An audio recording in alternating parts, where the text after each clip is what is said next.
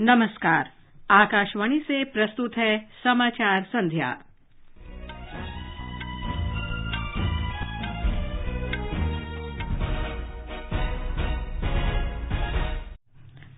बिहार में नीतीश कुमार ने महागठबंधन की नई सरकार के गठन के लिए दावा पेश किया। महाराष्ट्र में शिवसेना, भाजपा सरकार के मंत्रिमंडल का विस्तार नये मंत्रियों ने शपथ ली। गृह और सहकारिता मंत्री अमित शाह ने सभी सहकारी समितियों से सरकारी खरीद पोर्टल जेम में शामिल होने की अपील की।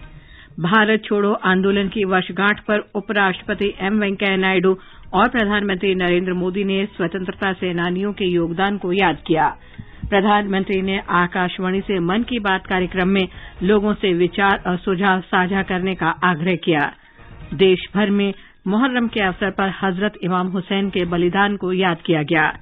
चेन्नई में चवालीसवें शतरंज ओलिम्पियाड का समापन भारत ने कांस्य पदक जीता। और एशिया कप क्रिकेट टूर्नामेंट में भारतीय टीम की घोषणा रोहित शर्मा कप्तान और केएल राहुल उपकप्तान।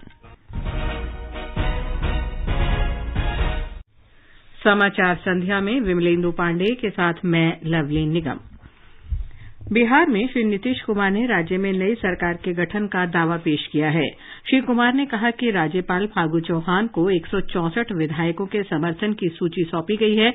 इनमें सात राजनीतिक दलों, राष्ट्रीय जनता दल, कांग्रेस हिन्दुस्तानी अवाम मोर्चा, वाम दल के विधायक और एक स्वतंत्र विधायक शामिल हैं। इससे पहले श्री कुमार को जनता दल, यूनाइटेड राष्ट्रीय जनता दल और कांग्रेस के महागठबंधन का सर्वसम्मति से नेता चुना गया। यह फैसला तीनों दलों की एक संयुक्त बैठक में लिया गया।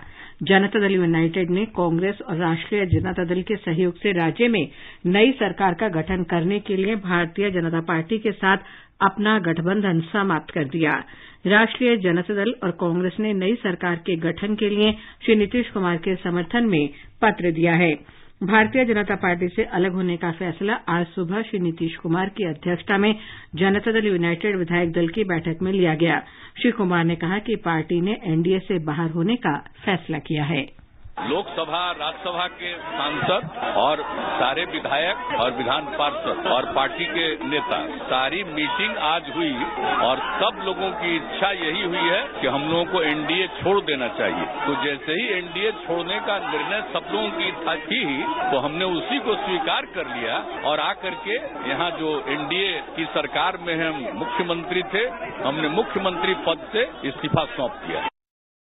जीतन राम मांझी के नेतृत्व वाले हिन्दुस्तानी अवाम मोर्चा ने भी अपनी राजनीतिक रणनीति तय करने के लिए विधायक दल की बैठक की और नीतीश कुमार को बिना शर्त समर्थन देने का फैसला किया। इस बीच भाजपा नेता आर के सिंह ने कहा है कि नीतीश कुमार हमेशा राजनीति में यू टर्न लेते हैं। ये देखिए, हम लोग के स्टेट का दुर्भाग्य है। एक तो पंद्रह साल की सरकार रही, उसमें बिहार बहुत पीछे चला गया। और नीतीश जी भी कई बार ये बोल चुके अब बीच में वो राजद के साथ गए भी उसके बाद फिर छोड़ करके आए। अब फिर वापस जा रहे हैं राजद के साथ। ये किस तरह अपने आप को जस्टिफाई करेंगे, ये हमारे समझ में नहीं आती है बात। भाजपा नेता रविशंकर प्रसाद ने कहा कि नीतीश कुमार कब क्या करेंगे, इसके बारे में उन्हें स्वयं भी जानकारी नहीं होती। नीतीश कुमार जी हमें छोड़कर चले गए और कहा कि भाजपा उनकी पार्टी को तोड़ने का काम कर रही थी। तो नीतीश जी, आज मुझे आपसे कुछ सवाल पूछना है। पहला सवाल, आप हमारे साथ कैसे और क्यों आए थे? आपको याद है, आपने लालू जी को छोड़ा था जब हम लोग चारा घोटाले की लड़ाई लड़ रहे थे। आपने समता पार्टी बनाई थी तो भाजपा के साथ आने की आपकी वो पहली यात्रा थी। और आज जो सांप्रदायिकता की बात करते हैं माननीय नीतीश कुमार जी तो आपको मैं विनता से बताऊँ, उस समय राम जन्मभूमि का आंदोलन अपने पीक पर था। उसके बाद आप भाजपा के साथ रहे, क्योंकि जंगल राज लूट, परिवारवाद, भ्रष्टाचार, उसके खिलाफ आपने अपनी आवाज़ भाजपा के साथ लगाई। भारतीय जनता पार्टी के बिहार इकाई ने श्री कुमार पर राज्य के लोगों के साथ धोखा करने का आरोप लगाया। पटना में बिहार भाजपा के अध्यक्ष संजय जायसवाल ने कहा कि बिहार की जनता श्री कुमार को कभी माफ़ नहीं करेगी। उन्होंने कहा कि पार्टी ने 2020 का चुनाव राष्ट्रीय जनतांत्रिक गठबंधन के अंतर्गत लड़े थे। जनता ने जनता दल यूनाइटेड और भारतीय जनता पार्टी को संयुक्त रूप से जनादेश दिया था। उन्होंने कहा कि भारतीय जनता पार्टी ने ज़्यादा सीटें जीती थीं, लेकिन इसके बावजूद श्री नीतीश कुमार को मुख्यमंत्री बनाया गया। लोक जनशक्ति पार्टी आर के अध्यक्ष चिराग पासवान ने नीतीश कुमार की कड़ी आलोचना करते हुए कहा कि वे अति महत्वाकांक्षी हैं और एक बार फिर राष्ट्रीय जनतांत्रिक गठबंधन के साथ धोखा कर रहे हैं। नई दिल्ली में श्री पासवान ने कहा कि श्री कुमार का ध्यान बिहार के विकास पर नहीं, बल्कि केवल सत्ता पर है। तमाम बातों का जवाब सिर्फ़ एक ही है, सिर्फ़ अपनी कुर्सी के लालच में। मुख्यमंत्री जी का हर फैसला सिर्फ़ और सिर्फ़ अपनी कुर्सी को केंद्रित करते हुए ही वो लेते हैं, इसके अलावा कुछ और मायने नहीं रखता इस बीच राष्ट्रीय लोक जनशक्ति पार्टी के नेता और केंद्रीय मंत्री पशुपति कुमार पारस ने स्पष्ट किया कि उनकी पार्टी राष्ट्रीय जनतांत्रिक गठबंधन में बनी रहेगी। बिहार विधानसभा में 243 सीटें हैं। इनमें राष्ट्रीय जनता दल के पास उनासी, जनता दल यूनाइटेड के पास 45 कांग्रेस के 19 वाम दलों के 16 और हिन्दुस्तानी आवाम मोर्चा के चार विधायक हैं। विधानसभा में एक स्वतंत्र विधायक हैं। भारतीय जनता पार्टी के सतहत्तर विधायक हैं। महाराष्ट्र मंत्रिमंडल का आज विस्तार किया गया। अट्ठारह नेताओं को मंत्री पद की शपथ दिलाई गई। एक रिपोर्ट।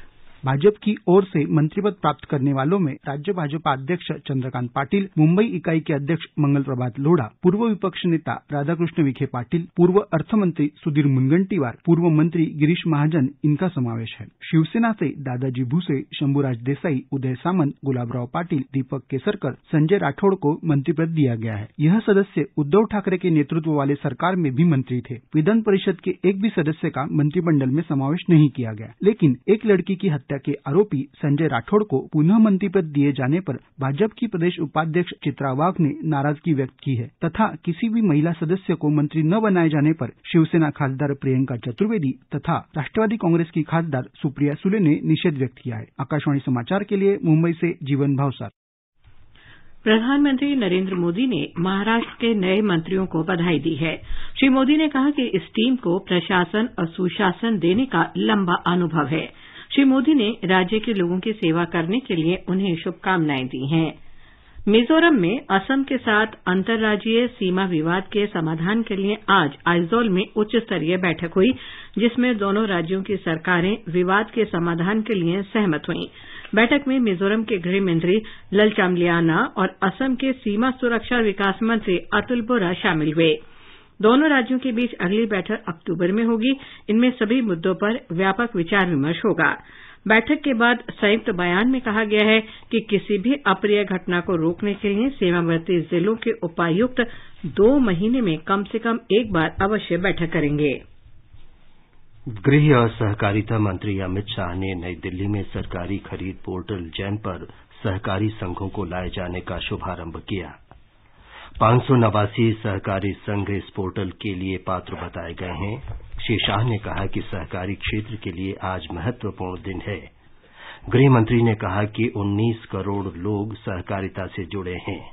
सरकार की कई सारी इकाइयाँ जैन के माध्यम से ही अब खरीदी करती हैं। चाहे राज्य सरकार हो, चाहे केंद्र सरकार हो, चाहे अंडरटेकिंग्स हो मैं कोऑपरेटिव सोसाइटीज को आज के दिन ये भी अपील करना चाहता हूँ कि अपने आप को जैम पर रजिस्टर करने के लिए तैयार करें। प्रक्रिया है, होनी भी चाहिए और ज़रूरी भी है, क्योंकि क्वालिटी का भी चिंता करना है, क्षमता का भी चिंता करना है। मैं राष्ट्रीय सहकारी संघ को भी अपील करता हूँ कि आपका ये काम ही है कि कोऑपरेटिव का मार्केटिंग बढ़े। और कोऑपरेटिव का मार्केटिंग बढ़ाना है तो जैम से अच्छा कोई रास्ता नहीं हो वाणिज्य और उद्योग मंत्री पीयूष गोयल ने कहा कि पिछले छह वर्षों में जीईएम यानी जैम पोर्टल पर दो लाख अस्सी हज़ार करोड़ रुपए का कारोबार किया गया। श्री गोयल ने कहा कि जैम पोर्टल सरकारी खरीद में पारदर्शिता लाने के लिए महत्वपूर्ण भूमिका निभा रहा है।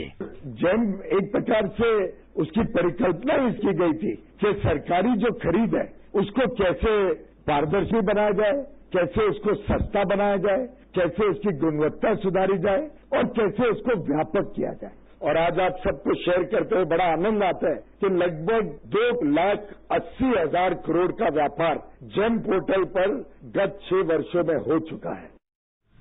वाणिज्य मंत्री पीयूष गोयल ने कहा है कि दुनिया भारत को आर्थिक विकास के इंजन के रूप में देख रही है। नई दिल्ली में व्यापारी उद्यमी सम्मेलन में उन्होंने कहा कि विकसित देश भारत के साथ व्यापार समझौते करने के इच्छुक हैं। श्री गोयल ने कहा कि वर्ष 2014 से पहले भारत की अर्थव्यवस्था को बहुत नाजुक समझा जाता था और निवेशक यहाँ पूंजी लगाने और व्यापार करने के प्रति सशंकित रहते थे।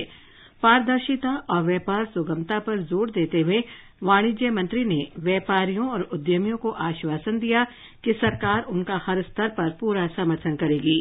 श्री गोयल ने व्यापारियों का आह्वान किया कि लोगों की सुविधा और नियमों के अनुपालन में सरकार के साथ सहयोग करें और व्यापार संहिता का पालन करें। उन्होंने कहा कि व्यापार सुगमता में बाधा डालने वाले अनावश्यक नियमों को हटाया जाना चाहिए। संसदीय कार्य मंत्री प्रहलाद जोशी ने कहा है कि संसद का मानसून सत्र निर्धारित समय से केवल दो दिन पहले ही स्थगित किया गया। उन्होंने कहा कि विपक्षी दल सत्र के चार दिन पहले स्थगित होने की गलत खबर प्रचारित कर रहे हैं। उन्होंने बताया कि यह निर्णय विपक्षी दलों के सांसदों सहित अनेक सदस्यों के अनुरोध पर किया गया। श्री जोशी ने कहा कि विपक्ष का एजेंडा संसद की कार्यवाही में व्यवधान पहुंचाना और बाइकआउट करना है। शून्यकाल और प्रश्नकाल के ज़रिए विपक्ष कई मुद्दे उठा सकता था, लेकिन महँगाई के मुद्दे पर चर्चा के लिए उन्होंने सदन का बहिर्गमन किया। श्री जोशी ने कहा कि मानसून सत्र का आधा से ज़्यादा समय व्यवधान में ही निकल गया। कांग्रेस पार्टी जनता की पैसे की कीमत पर एक परिवार को बचाने में लगी है। उपराष्ट्रपति एम वेंकैया नायडू ने सूचना सेवा के अधिकारियों से सरकार की नीतियों और पहल को क्षेत्रीय भाषाओं में समय से सूचना देकर लोगों को सशक्त बनाने का आह्वान किया है। उन्होंने नई दिल्ली में 2018-2019 बैच के भारतीय सूचना सेवा अधिकारियों से कहा कि यदि कोई भी लोगों को विभिन्न कार्यक्रमों के बारे में साधारण और आसान भाषा में जानकारी देता है तो लोग अपनी पात्रता और सरकारी प्रक्रिया को बेहतर ढंग से समझ सकते हैं और इससे पारदर्शिता आती है। ये समाचार हमारी website news on A I R dot com slash Hindi और हमारे mobile app news on A I R पर भी उपलब्ध हैं। आकाशवाणी आपके लिए लेकर आया है कार्यक्रम एक कदम और बुज़ुर्गों के लिए। 14 अगस्त को प्रसारित होने वाले हमारे कार्यक्रम का विषय है बुज़ुर्गों का खान पान। आप अपने सवाल हमें 11 अगस्त तक भेज सकते हैं। हमारा व्हाट्सएप नंबर है नौ दो आठ नौ शून्य नौ चार शून्य चार चार। आप अपने सवाल हमें इस पते पर ईमेल भी कर सकते हैं। एक कदम और A I R news at G mail dot com समाचार संध्या में आपका फिर स्वागत है। आगे बढ़ने से पहले मुख्य समाचारों पर एक नज़र। बिहार में नीतीश कुमार ने महागठबंधन की नई सरकार के गठन के लिए दावा पेश किया। महाराष्ट्र में शिवसेना, भाजपा सरकार के मंत्रिमंडल का विस्तार, नए मंत्रियों ने शपथ ली। गृह और सहकारिता मंत्री अमित शाह ने सभी सहकारी समितियों से सरकारी खरीद पोर्टल जैम में शामिल होने की अपील की। भारत छोड़ो आंदोलन की वर्षगांठ पर उपराष्ट्रपति एम वेंकैया नायडू और प्रधानमंत्री नरेंद्र मोदी ने स्वतंत्रता सेनानियों के योगदान को याद किया।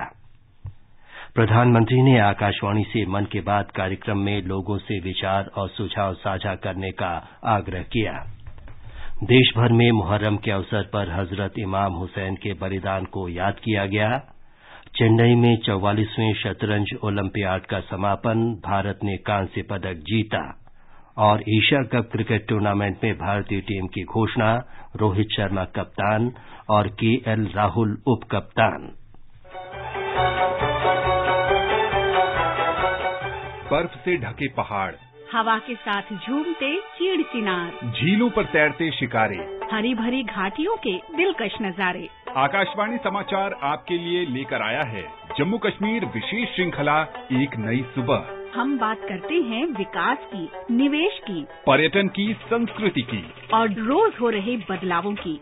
एफ़ एम गोल्ड पर सुनिए हर शुक्रवार रात नौ बजकर पंद्रह मिनट पर आकाशवाणी समाचार की विशेष प्रस्तुति। जम्मू कश्मीर एक नई सुबह।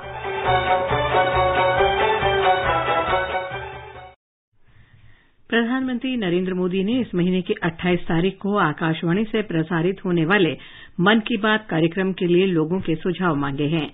रेडियो पर मासिक कार्यक्रम मन की बात की ये बानहवीं कड़ी होगी। प्रधानमंत्री ने कहा है कि विभिन्न विषयों पर उन्हें भेजे गए सुझावों को अगले मन की बात कार्यक्रम में शामिल किया जा सकता है। लोग अपने विचार नमो ऐप और my GOV dot open forum पर भेज सकते हैं। वे टोल फ्री नंबर एक आठ शून्य शून्य, एक एक सात आठ शून्य शून्य पर भी अपने सुझाव हिंदी और अंग्रेज़ी में रिकॉर्ड करा सकते हैं। फ़ोन लाइनें 25 अगस्त तक खुली रहेंगी। एक नौ दो दो पर मिस्ड कॉल देकर और एसएमएस के ज़रिए लिंक प्राप्त करके सीधे अपने सुझाव प्रधानमंत्री को भेजे जा सकते हैं। पुद्दुचेरी के मुख्यमंत्री एन रंगासामी ने आज नई दिल्ली में प्रधानमंत्री नरेंद्र मोदी से मुलाकात की और केंद्र शासित प्रदेश को दी जाने वाली केंद्रीय सहायता को बढ़ाने का अनुरोध किया। पुद्दुचेरी विधानसभा के कल शुरू होने वाले सत्र के मद्देनजर श्री रंगासामी का दिल्ली दौरा महत्वपूर्ण है। श्री रंगासामी को भी केंद्र शासित प्रदेश के लिए एक पूर्ण बजट प्रस्तुत करने की उम्मीद है। पुदुचेरी में ये प्रथा रही है कि राज्य विधानसभा में केवल लेखानुदान पारित किया जाएगा, क्योंकि राज्य का बजट पूरी तरह से केंद्र सरकार की सहायता पर निर्भर है। मुख्यमंत्री रंगासामी ने प्रधानमंत्री को सौंपे ज्ञापन में कहा कि केंद्रीय सहायता के बिना बजट पेश करना संभव नहीं होगा। भारत छोड़ो आंदोलन की वर्षगांठ पर उपराष्ट्रपति एम वेंकैया नायडू और प्रधानमंत्री नरेंद्र मोदी ने स्वतंत्रता सेनानियों के योगदान को याद किया। उपराष्ट्रपति एम वेंकैया नायडू ने कहा है कि भारत छोड़ो आंदोलन दिवस हमें याद दिलाता है कि एकता देश की सबसे बड़ी ताकत है। श्री नायडू ने कहा कि इस दिन देश स्वतंत्रता सेनानियों के निस्वार्थ बलिदान और अथक प्रयासों को याद करता है। उन्होंने सभी लोगों से समृद्ध, समग्र, शांत और सौहार्दपूर्ण भारत बनाने की अपील की। प्रधानमंत्री नरेंद्र मोदी ने कहा कि राष्ट्रपिता महात्मा गांधी से प्रेरित होकर भारत छोड़ो आंदोलन में लोकनायक जयप्रकाश नारायण और डॉक्टर राम मनोहर लोहिया जैसे महान लोगों सहित समाज के सभी लोगों के उल्लेखनीय भागीदारी थी। श्री मोदी ने लोकनायक जयप्रकाश नारायण के इस कथन को याद किया कि 9 अगस्त का दिन भारत की राष्ट्रीय क्रांति का एक ज्वलंत प्रतीक बन गया है। प्रधानमंत्री ने बम्बई में भारत छोड़ो आंदोलन की शुरुआत के समय की महात्मा गांधी की एक तस्वीर पोस्ट की है और भारत छोड़ो आंदोलन के महत्व पर प्रकाश डालते हुए एक वीडियो भी साझा किया है।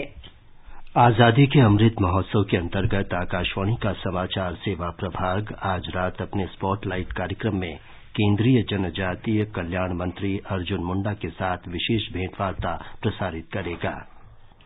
श्री मुंडा ने कहा है कि जनजातीय समुदाय की प्रगति के लिए पिछले आठ वर्षो में अनेक योजनाएँ शुरू की गई हैं और उनके सफल कार्यान्वयन के सार्थक परिणाम भी सामने आ रहे हैं। पिछले आठ वर्षों के कालखंड में यदि हम देखें तो जहाँ कार्यक्रम को हम नीचे तक पहुँचाने में सफल हो रहे हैं, वहीं अब जनजातीय समुदाय 75 साल पूरा होने के उपलक्ष्य में उत्सव मनाने के माहौल में है। और इस समय यदि हम देखें तो और ज़्यादा जनजातीय समुदाय के लिए, आदिवासियों के लिए महत्वपूर्ण हो जाता है कि आज़ादी के लंबे कालखंड बाद, यानी अमृत महोत्सव काल में श्रीमती द्रौपदी मुर्मू पहली आदिवासी महिला के रूप में राष्ट्रपति के पद को सुशोभित कर रही हैं। ये न केवल एक राष्ट्रपति के रूप में द्रौपदी मुर्मू का आसीन होना, बल्कि पूरे जनजाति समाज को प्रेरणा देने वाली और संकल्प लेने वाली। ये पूरी भेंटवार्ता आज रात नौ बजकर पंद्रह मिनट से एफएम गोल्ड चैनल और अतिरिक्त मीटरों पर सुनी जा सकती है। ये कार्यक्रम हमारे tube channel news on AIR official पर भी उपलब्ध रहेगा। अभी अभी प्राप्त समाचार के अनुसार श्री नीतीश कुमार कल शाम चार बजे बिहार के मुख्यमंत्री की शपथ लेंगे। राज्यपाल फागू चौहान नीतीश मंत्रिमंडल को शपथ दिलाएँगे। दूरदर्शन इस महीने की चौदह तारीख से धारावाहिक स्वराज भारत के स्वतंत्रता संग्राम की समग्र गाथा का प्रसारण करेगा। पिछहत्तर कड़ियों वाला यह धारावाहिक हर रविवार रात नौ बजे दिखाया जाएगा। ये धारावाहिक स्वतंत्रता सेनानियों और स्वतंत्रता संग्राम के गुमनाम नायकों के योगदान को दर्शाएगा। धारावाहिक का नौ क्षेत्रीय भाषा और अंग्रेज़ी में भी रूपांतरण किया जा रहा है। धारावाहिक का क्षेत्रीय संस्करण इस महीने की 20 तारीख से दूरदर्शन के क्षेत्रीय चैनलों पर प्रसारित होगा। आकाशवाणी भी इस धारावाहिक का प्रसारण इस महीने की 20 तारीख से हर शनिवार दिन में 11 बजे करेगा। सिंगापुर में आज नेताजी सुभाष चंद्र बोस से जुड़े स्थल पादांग को पचहत्तरवां राष्ट्रीय स्थल घोषित किया गया। पादांग से नेताजी सुभाष चंद्र बोस ने जुलाई 1943 में दिल्ली चलो का नारा दिया था। सिंगापुर आज अपना सत्तावनवां राष्ट्रीय दिवस मना रहा है। आज़ादी का अमृत महोत्सव के अंतर्गत आइए अब सुनते हैं आकाशवाणी की विशेष प्रस्तुति आज़ादी का सफ़र। आज़ादी का अमृत महोत्सव।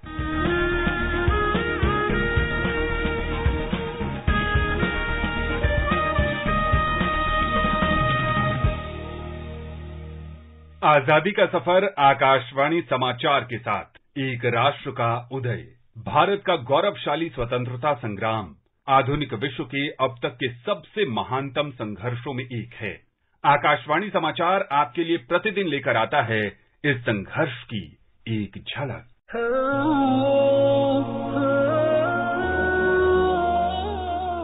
नौ अगस्त स्वतंत्रता सेनानी सैयद अहमदुल्ला कादरी की जयंती है। उनका जन्म 1909 में हैदराबाद में शमसुल्ला कादरी के घर हुआ था। शमसुल्ला कादरी प्रसिद्ध लेखक थे, जिन्होंने सैयद को काफ़ी कम उम्र में साहित्यकारों से परिचित कराया। सैयद अहमद कादरी ने प्रसिद्ध समाचार पत्र सल्तनत की स्थापना की। उन्होंने पैसा और तारीख नामक दो समाचार पत्रों के लिए भी लिखा। 1946 में कादरी हैदराबाद राज्य के पहले पत्रकार थे, जिन्होंने उर्दू समाचार दैनिक सल्तनत में एक राष्ट्र सिद्धांत के पक्ष में लिखा था। उन्होंने राष्ट्रव्यापी आंदोलन में शामिल होने का फैसला किया और आंध्र प्रदेश राज्य विधान परिषद के सदस्य बने। वे आंध्र प्रदेश राज्य हज समिति के अध्यक्ष भी रहे।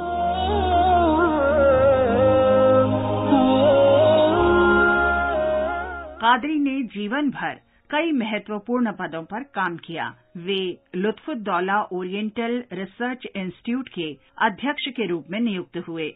सैयद अहमदुल्ला कादरी को 1966 में भारत सरकार ने पद्मश्री से सम्मानित किया 5 अक्टूबर 1985 को उनकी मृत्यु हो गई स्वतंत्रता सेनानी सैयद अहमदुल्ला कादरी को हमारा सादर नमन ও আমার দেশের মাটি তোমার পরে ঠেকাই মাথা 9 अगस्त त्रैलोक्यनाथ चक्रवर्ती की पुण्यतिथि है। उनका जन्म अठारह में वर्तमान बांग्लादेश के मैमन सिंह में हुआ था। वो 1906 में स्वतंत्रता संग्राम में शामिल हुए और ढाका अनुशीलन समिति के सदस्य बन गए। 1908 में उन्हें क्रांतिकारी गतिविधियों के लिए पहली बार गिरफ़्तार किया गया, जिसके परिणाम स्वरूप वे शिक्षा पूरी नहीं कर सके।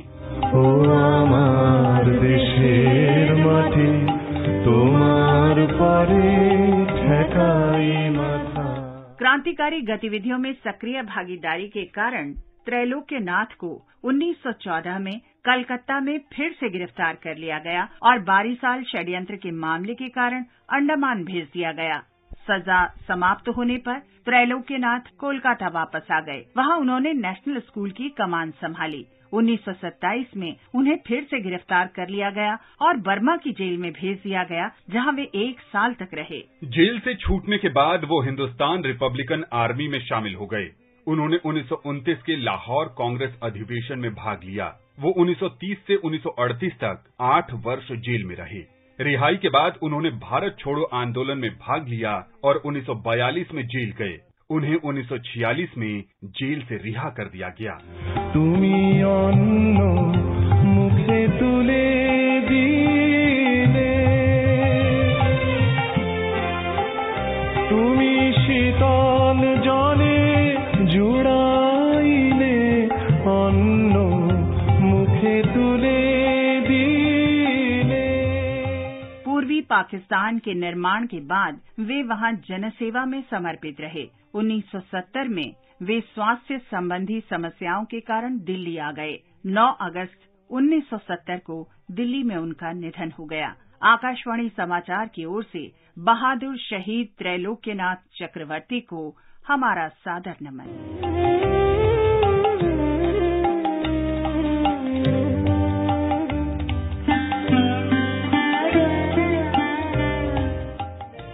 हम स्वतंत्रता सेनानी कमला प्रसाद विश्वकर्मा को भी स्मरण कर रहे हैं। वो उत्तर प्रदेश के आजमगढ़ के निवासी थे। मात्र नौ वर्ष की आयु में उन्होंने भारत छोड़ो आंदोलन में भाग लिया। पुलिस फायरिंग में उन्हें गोली लगी, लेकिन बाद में उन्हें गिरफ़्तार कर लिया गया और छह महीने के कठोर कारावास की सजा सुनाई गई। 9 अगस्त 1942 को जेल अधिकारियों की गंभीर यातनाओं के कारण जेल में कमला प्रसाद विश्वकर्मा की मृत्यु हो गई। आकाशवाणी समाचार की ओर से देश के वीर सपूत कमला प्रसाद विश्वकर्मा को नमन।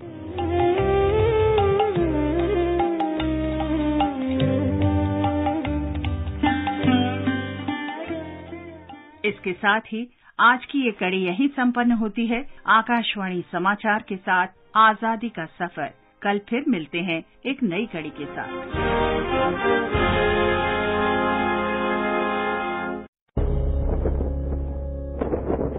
अब हर घर की छत पर शान से फहरेगा तिरंगा।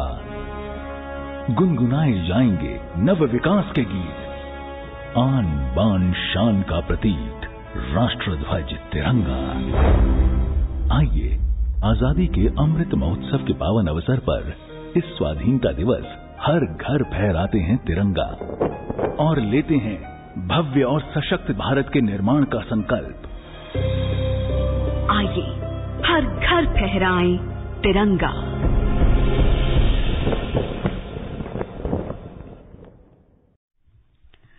आशुराय मोहर्रम आज देश के विभिन्न हिस्सों में पूरी श्रद्धा के साथ संपन्न हुआ। ये दिन पैगंबर मोहम्मद के नवासे हज़रत इमाम हुसैन और उनके सहयोगियों के शहीद होने का प्रतीक है। उन्होंने करबला में सत्य, न्याय और सच्चाई के लिए अपने प्राण न्यौछावर कर दिए। इस अवसर पर ताजिए निकाले गए और शाम को निश्चित स्थानों पर उन्हें दफनाया गया। धार्मिक सभाएँ भी आयोजित की गईं और धार्मिक नेताओं ने करबला से संबंधित घटनाओं के बारे में लोगों को बताया। प्रधानमंत्री नरेंद्र मोदी ने कहा है कि आशुराय मोहर्रम हज़रत इमाम हुसैन की कुर्बानी को याद करने का दिन है। श्री नरेंद्र मोदी ने कहा कि हज़रत इमाम हुसैन को सच्चाई के प्रति उनकी अटूट प्रतिबद्धता और अन्याय के खिलाफ लड़ाई के लिए याद किया जाता है। प्रधानमंत्री ने कहा कि उन्होंने समानता और भाईचारे को भी काफ़ी महत्व दिया। शतरंज ओलंपियाड में आज चेन्नई के जवाहरलाल नेहरू स्टेडियम में रंगारंग कार्यक्रम के साथ संपन्न हो गया। मामल्लपुरम में आयोजित इस प्रतियोगिता में उज्बेकिस्तान ने स्वर्ण, आर्मेनिया ने रजत और मेजबान भारत ने कांस्य पदक जीता। शतरंज ओलंपियाड का उद्घाटन 28 जुलाई को प्रधानमंत्री नरेंद्र मोदी ने किया था।